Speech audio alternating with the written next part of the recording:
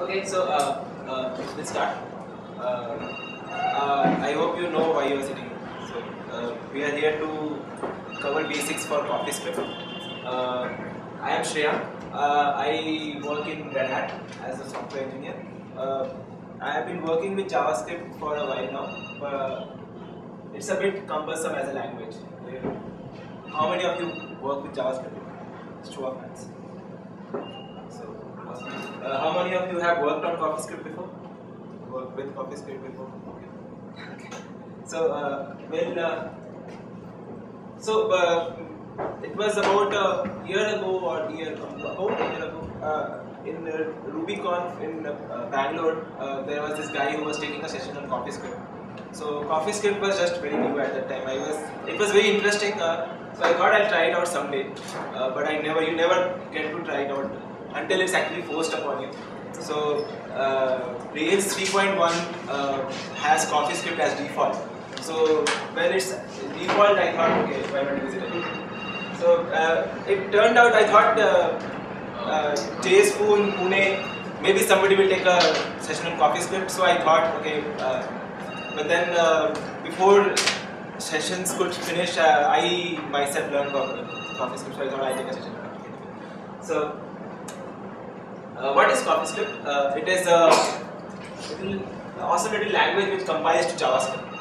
So, uh, C compiles to assembly, CoffeeScript compiles to JavaScript. So, uh, why do we need CoffeeScript? Is uh, it, you really don't use CoffeeScript. In your browser, you will actually, that uh, even if you write CoffeeScript in your browser, you again have to write a plugin, a JavaScript plugin, which com- com- converts your CoffeeScript to JavaScript. Or if you want to do it server side, you need to compile every time whatever you wrote in CoffeeScript to JavaScript in order to actually use it. But then JavaScript itself as a language has all those curly braces and stuff. You don't know where you started, where your function ends. You have to finish a curly brace, you have to finish another bracket, another curly brace, and then you figure out where you went wrong. Uh, there are syntax errors and all. Uh, it's a bit unmaintainable when it when it gets to um, like uh, the, the, the JavaScript file gets huge. You start feeling the pinch. So CoffeeScript is there to take the pain away. Uh, to install, uh, use gem install or npm install, or you could just directly go to the GitHub page and uh, they, they, they have instructions there. So, hello world, uh, like any other language. Uh, so, you, you, how many of you have been working with Ruby? Okay, and how many of you have been working with Python? So, uh, if you if you have been working with Ruby and Python, you will see that uh, as we go along, CoffeeScript will come very naturally to you. It's not like you have you're learning a new thing. If you if you have been working with Ruby Python, you will see that uh, it has taken all the good things from it. So, like uh, Ruby has this, uh, you can use a function without the brackets. So, and so this is hello world. So uh, my slides will cover things like uh, uh, how you how do you do stuff in CoffeeScript and how it compiles to JavaScript. Right? Uh, if you uh, can open this web page, uh, the one in the one with CoffeeScript.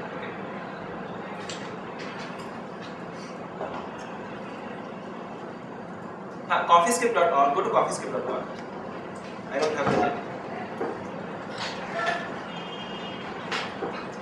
Yeah, if you go to coffeescript.org, you will see that there is a, a little tab there which has the drop down, uh, the middle middle tab. I forgot the name. So whenever you write CoffeeScript there, it just uh, real time converts it, compiles it to JavaScript. So you can, uh, it's a great place to try out your CoffeeScript. So my slides will cover CoffeeScript, JavaScript, CoffeeScript. So next slide, how do you do assignments? Uh, you do count is equals to one, uh, finish is equals to false or list one dot dot five. If you are from Ruby, you will see that this will come very naturally to you. List one dot dot five.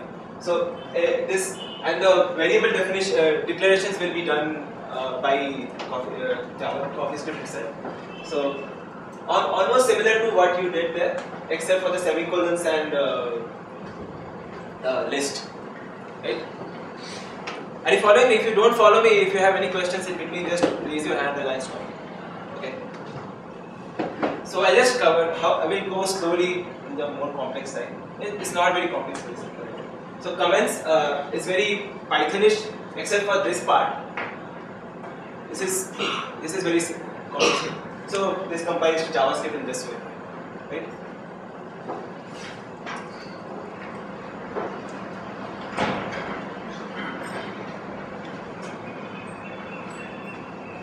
Yeah, Okay.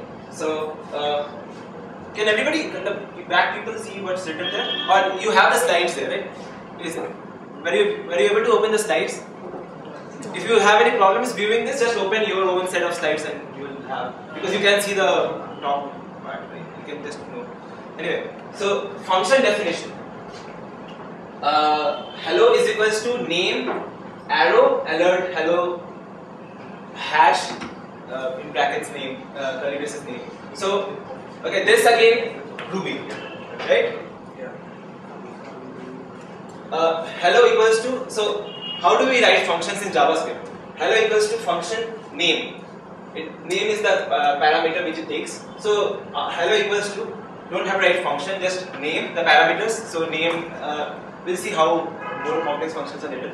And then an arrow. Uh, you could write the alert. The alert could come into the next line as well as a in tab indented line. I'll show you next how you how you. So uh, so every every function, if if the last line by default in CoffeeScript assumes it's a return function. So even if you don't write return, it it it, it, adds this return. So it doesn't make a difference for most of your code. But then uh, if you want to avoid it, you can just write a return yourself. So uh, uh, so this uh, hello hash name has been broken down into the way JavaScript does it. So can you see how? So uh, uh, the way CoffeeScript compiles into JavaScript is very. Uh, it, it does not make it more complex. It's actually uh, as fast and uh, if, if not faster than your already, already written JavaScript. So moving on, uh, objects. Objects are uh, in other languages we call it a hash or a dictionary. So uh, hello equals to name, So this tab indentation again from Python, right? So uh, again, where variable uh, declaration is done by Java, uh, Coffee, and then rest rest the same. Just the curly braces are added and the commas, right? Existential operator uh, is awesome question mark. The question mark is a CoffeeScript thing, right? So uh, how see how it converts to JavaScript? Uh, if, if- type of is awesome not equals to undefined is awesome not equals to null. All these things you have to do yourself handwritten JavaScript when you write JavaScript, right? But then uh, CoffeeScript is just one is awesome question mark. Is awesome is your uh, variable, and then Does it handle, uh, doesn't it handle false? it does uh, if not awesome. If blank not blank is awesome. If the type of is also not, not equal to undefined, type Huh. of is also not equal to null. Yes. Uh, so when you write if not is awesome, it co- compiles to is awesome equals to equals to equals to undefined and equals to equals to equals to. Right? Okay, how do you compare values of this? In the CoffeeScript part, if you want to compare values also. Uh, equals to equals equals or is then so CoffeeScript has this uh, keyword called is or isn't right? Uh, so is isn't again compiles to uh, not equals to and uh, is compiles to equals to equals to. Okay?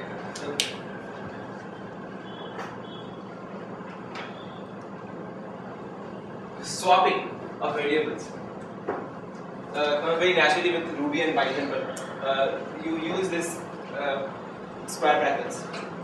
So uh, JavaScript will define a underscore ref, which is this temporary variable, and then do this for you.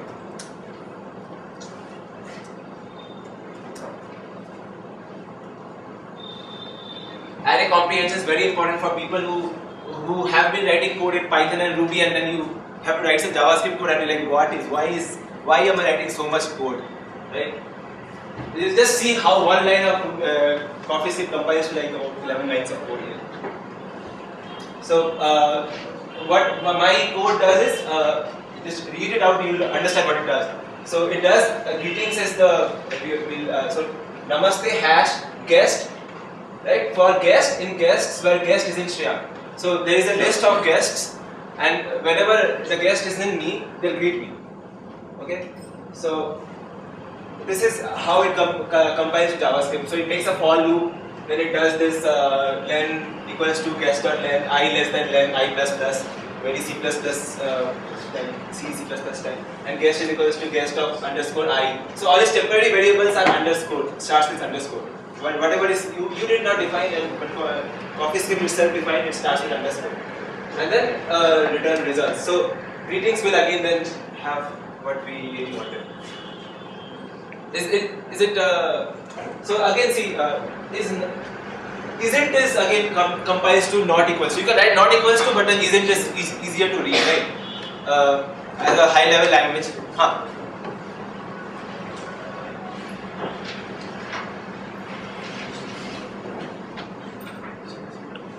Continue, continue. There, this place there. I don't know.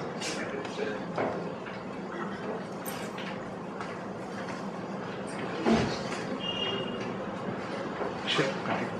So, uh, uh, so is this coming naturally to people? If you if you go ahead, you'll see how it's very very naturally. So you don't have to really uh, learn CoffeeScript as such. You just have to know what how you write a little bit of code, and then you it just come comes naturally to you. Default variable and splats. Okay, so we have been using default variables in almost like even uh, even C++, but JavaScript don't, don't have that. So uh, greetings equals to greetings. Uh, so default variable is namaste and guests dot dot dot. So that's a splat. So uh, when I call this function with a list uh, with more than two arguments, the rest, the everything except the first argument goes into guests. Right? If I call greetings, uh, I'll say hi for the first argument, and then uh, a b and a, a comma b comma c, not not like in a list. I'll pass just just an argument. Uh, So uh, I don't have a uh, so so in greetings, and then when I when I call greetings and uh, hi, and then hi comma one comma two comma three. So 1 comma 2 comma 3 again goes into guests. This is how the stack works. Right? And then return uh, greeting guest for guest in guests. I see in the bottom part. Okay, you that. Uh, so, I wish I had. Okay, I have.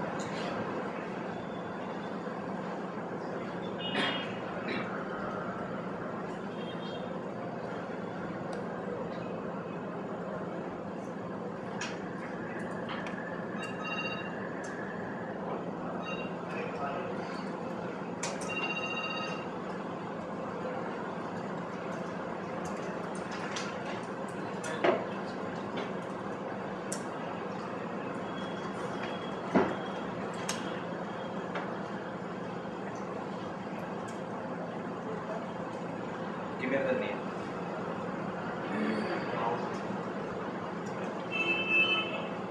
Misspelled. Misspelled what? Greeting. Uh, okay. GR. Sorry. Uh, greetings. Sorry. Yeah, so you see what is happening here? Can, can you see the. No, I cannot.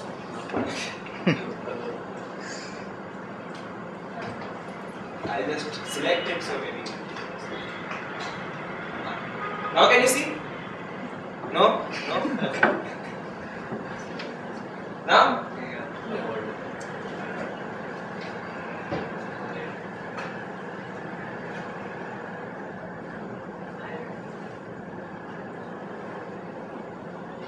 So what is happening here is I define greetings. So this is my greetings definition of greeting. Okay, greetings equals to namaste and then guest dot dot dot. So when I call greetings with more than two arguments or more than one argument, everything except the second uh, first argument goes into guests. So guests is the array which has Shri, Ramki and Rahul. You get you get you get my uh, so so So guests uh, guests now has string Rahul and Ramki. So return hi, which I passed as the first argument. Everybody's name. So this is the, the return. You get it? No? Yes? Indian hand bob? Okay. So, and this is how, uh, this is what JavaScript comes in the background. This is what actually goes to your browser or your whatever Node.js you're. So, do you want me to read this out? We have the slides, okay? So you try and read it and you will see how it fits in with that. Ah, so okay. Uh, if greeting equals to equals to null, greeting equals to namaste. This is the default variable. Okay? Because JavaScript there is no default variable. You cannot write greeting equals to namaste and if you don't pass anything, like for example, if you don't, uh, how can I not pass anything? Anyway, uh, if it was something like Can't pass an empty list. Huh? Can't pass an empty list. No. no, even if you pass, okay, I can. Does it work? It does not. The spelling is But again.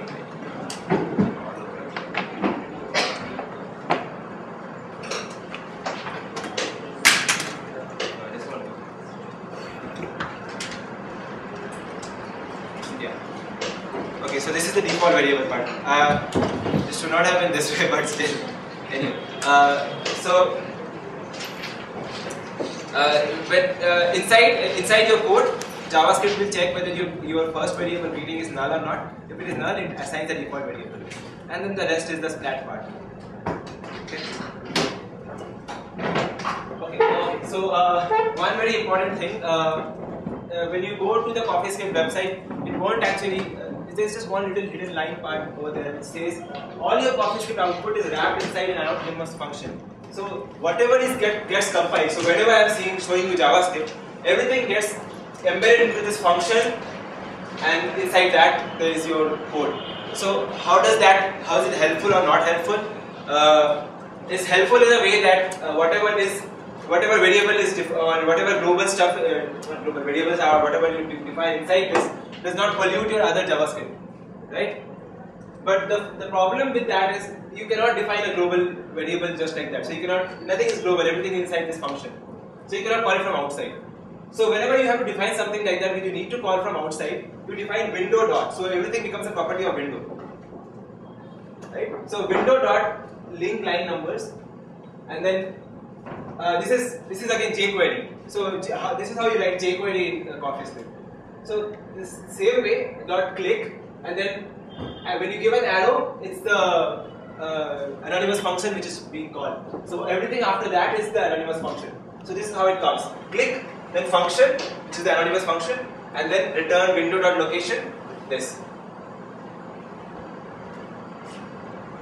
Okay. Makes sense. So you see equals to arrow, right? That's because we are not passing any arguments. If you are passing arguments, it's like equals to then your arguments and then arrow. So uh, this defines a function different numbers. We can also define variables, right? Yeah, you can define variables. Function is actually a variable. Yeah, in JavaScript, everything is a variable. Okay. Uh, so moving forward. Uh, conditionalities. So conditions. If, else, tab intended, like Python. Okay. Not uh, like Ruby where there is an end. So it's actually taking good parts of both the languages and making a new awesome language. So date equals to if Friday, then Sue, else Jill. Very English like. Uh, it will be a bit awkward if you are not doing uh, Python or Ruby and you're coming from a Java or C++. Uh, how can a language be so English like? So, why you know English like? And uh, so option or equals to default. How does this compile? Options not equals to option equals to default. So this this is again JavaScript, and then uh, this is how you you this this will also work in JavaScript, uh, CoffeeScript, but then this is more readable. Don't you agree? Okay. Uh, date is equals to Friday, then Sue, then still. So this again comes to a, a transitive operator. Friday, question mark, Sue, colon nil. This actually makes more sense to me than this, but then uh, this is how it is. Okay, and uh, mood is equals to dating mood is syncing. If syncing mood is syncing, mood is equals to this. So this will like be like JavaScript, I have replaces here. So okay, this is one of the simple simple parts. We can move forward. If you have any questions, just stop me in between. Okay, slice and splice. So again, uh, we covered that uh, list, right? So number is equals to one dot dot uh, zero dot dot nine. So this is how it compiles. Now one uh, zero to one to nine. You, you, in JavaScript, you will have to write it down. Okay, and then uh, duplicate is equals to number dot dot dot dot dot numbers dot length. So numbers dot length is again the length of the array, and then again so do would be again one zero to nine, right? Mid is equals to do three dot dot six. This again you cannot do in JavaScript. So in JavaScript it will it will compile to number dot slice zero number dot length. But then here uh, sorry uh, no sorry do the slice three comma seven. So I used to be very confused. I, I used to do 3 comma 6 and then I get a wrong output and I do 3 comma 7. Okay, okay, it's minus 1. So, but then this will be very natural to you. So when you see the output of this will be 3, 4, 5, 6. Doesn't make sense. Slice 3 comma 7 and it gives you 3, 4, 5, 6. This makes more sense. 3 dot 6. And uh, splice. So numbers 3 dot 6 is equals to minus 3 dot dot minus 6. So this will compile to minus 3, minus 4, minus 5, minus 6. So what I want to do is uh, numbers 3, 4, 5, 6 will be will be replaced with minus 3, minus 4, minus 5, minus 6. This is this is actually a very uh, unreadable JavaScript which it compiles. Okay, so uh, non, uh, blank array dot splice apply numbers 3, comma 4 dot concat ref minus 3, minus 4, minus 5, minus 6. But then this is when it comes when we write stuff, we think like this. We don't think like this. So by the time we are actually writing JavaScript, we forget what we are trying we were- we are trying to do. So this is how it is very helpful. Okay. Classes. Uh, how many of you use classes in JavaScript? Not many of us do, but it's helpful. So class so this is how we write in JavaScript. Uh, person equals to function. So th- there is no real class. It's just function. The prototype dot greet, which is uh, which is being defined here. So but uh, we can write very simple classes, and then there are uh, you can do inheritance and all everything as well. So that I won't be covering. But class person constructor at name. At name again is the uh, the attribute of this uh, person. So this dot name is equals to name. This is how this is how the constructor compiles. So function person name this dot name is equals to name. So and this is how you write the constructor. Just add name arrow, and after that nothing means it's actually accepting a name. So and then greet greeting is equals to namaste is the default argument. Alert greeting name add name. Okay. So I'll do string new person and then greet. This is how you use What is over there? Singing person. Huh? Shreyank is the uh, so new person. So when you see this, see this is the person in brackets Shreyank. Because in Ruby you don't write. It's, it's actually you can write brackets as well. It will work, but then uh, it's cleaner. So uh, I don't know whether you find it cleaner, but it's actually but you can write it any way you want. You can write person bracket Shreyank as well. So Shreyank is the, uh, the what goes to the constructor. So at name is now Shreyank, and then when you greet, you greet. This is quite confusing. Okay, uh, what if I copy and show it to you? Yes, you are very exact confusing because you should know. Okay, just uh, think it's uh, new person in brackets Shreyank. Does it make more sense then? Okay, so uh, in Python we write a new person and we write brackets, but in Ruby we don't write that. So I'm more used to Ruby, so I, I wrote it like this. But then both will work actually. So when you say new person in bracket Shreyank, the constructor gets called and at name gets assigned the uh, name which you're passing. And then when you do string dot greet, it calls that and then alerts. Right?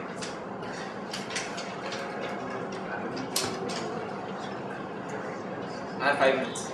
To for for the 30 minutes to end or 45 minutes? 8 minutes to Q&A and Okay. So I'm done uh, running CoffeeScript from the browser. Uh, nobody does it like this, but then you could do it like this. So you could write script and then you could include this uh, thing which runs the uh, compiles your whatever CoffeeScript you write to JavaScript. So your script type would be text slash CoffeeScript, and this will look for your text slash CoffeeScript and compile it to JavaScript. You just do it.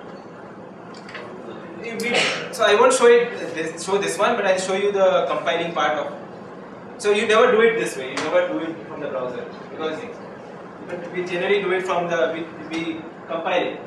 So so coffee minus minus compile my script. So I'll just so When you're writing new coffee script, so you have to compile it. you cannot do it. So there are ways. So uh, here, coffee minus minus watch compile. So whenever you save your file, it, a new coffee script gets made. Or you use a Rails asset pipeline and complete that. It's like awesome. Uh, so this is my uh, code, coffee code. Okay. And uh, what you do is you do uh, coffee minus minus compile uh, J, uh, jsfoo.coffee and it, it uh, by default if you don't provide an output file it makes gets written to jsfoo.js so so this has your javascript. And you see i told you everything gets embedded into this anonymous function function. So that, that everything defined here. So when you define where greetings guest greetings all these things are only available inside there you cannot access from outside. So if you want to do something with you want to access from outside do window dot that function name. So uh, this is my compiling and then the asset pipeline. So what is asset pipeline? Uh, so how many of you have been working on rails? Raise two of hands so rails 3.1 has this thing called uh, in your app you'll see this new folder called assets. So inside assets you can write so no jokes. Uh, you can write all your coffee script inside. So whenever you make a new model uh, new uh, controller uh, a coffee blank coffee file gets generated here. So all your coffee script goes here right? And then in your application.js you have required tree. You can actually remove it. You can change it to require dots uh, dot slash books. Uh, that would work as well. And then every time you every just write coffee script here and every time you refresh your page in your development mode your javascript you can see your javascript right? Uh, for more uh, on asset pipeline go to guides.rubyonrails.org slash asset pipeline.html okay. So this is this is like uh, the awesome way how how we how rest of us do it. We don't compile coffee script. We just write coffee script here and just like it behaves as if you have written javascript. Because because of your books.js.coffee the dot coffee written in the end that uh, coffee script precursor gets called. So every time you write uh, uh, any coffee script here it gets compiled to books.js right? Do you know that in rails you could write books.js.coffee.erb so first the erb gets called then it gets coffee script and then, then coffee gets called written js so it's awesome Do you mean you can also template coffee? Yes, you can. So, so links uh, and then that's all. So, any questions? Any questions? If you want to repeat any concept, or just uh, open that page. I how many of you got that page? If I had the internet. Uh, I think it's this one. Yeah, so the, the last one, uh, the last link in my talk, uh, the talk page, the last link, you could go there, or coffeescript.org also works. Right, and uh, see the middle tab, you can write whatever coffee script comes in your mind, and then it gets compiled to JavaScript right in front of you. So it's, the, it's a great place to try out if you are trying out something. That's all from my side. If you have any questions, yeah. Compilation process for single file, how it is optimized for multiple files. Like I have 10 And then Files, ah, one or okay. more files. So uh, for Rails, not not for rail. not for Rails, just CoffeeScript. So uh, uh, for multiple fi- files again you have to. So there there is a way in CoffeeScript where you can actually define a library of CoffeeScript files and then uh, compile the entire CoffeeScript directly into one JavaScript file. So that actually compresses your JavaScript also. And again, if I have the liberty of saying in Rails, uh, whenever you write whatever uh, CoffeeScript you write, so you have books.js, another uh, coffee, something else. So every time you do that, uh, your application.js will take all your CoffeeScript, combine it into one big huge JavaScript, uglify it and make it into one line. So it's actually very small. In your production code, it's it's minimal, right? So uh, CoffeeScript to JavaScript compilation. If you have any questions about the uh, if you have any doubts about the uh, the complexities it creates in the JavaScript, there is no. It's actually faster or as fast as the handwritten JavaScript you write. Okay. How, how complex can we get to It's not complex. It's actually more similar. As in, uh, respect use cases, if I want to Say if you have a loop which is like O n or n square or n cube, it will compile to a loop which is O n square or n cube. It won't be n4 or n 3.5. Right? So it takes care of the complexity. It, it's very logically uh, compiled to JavaScript, so there is no problem from that side. On the other hand, it's much more readable, much more awesomer, it's uh, much maintainable. So maintaining uh, 1000 lines of JavaScript and maintaining 100 lines of CoffeeScript, you know the difference when you when your project gets bigger, right? Okay, so that's all from me. Any more questions? Okay then. Uh, thank you.